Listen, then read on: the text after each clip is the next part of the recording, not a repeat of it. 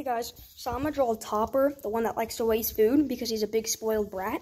So basically what you're gonna do is you're gonna make a circle, right? Like a big plum because he is a big plum. He's a spoiled little plum. Make some elf ears. He doesn't have hair, I don't think he does. make his little demon eyes. Make his little smile. I'm wasting food. My mommy's gonna buy it and change my diapers. Because Topper obviously does wear diapers. he wears the pull-ups to bed. Okay, and we're gonna take him. All right, everybody?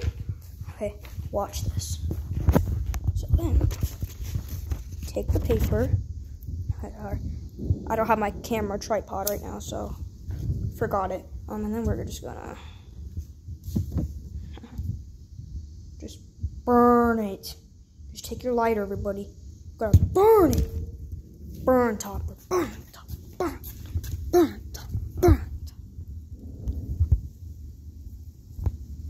Well, woo, look at him burn. Okay, when he's done burning, you're just gonna take your foot and go.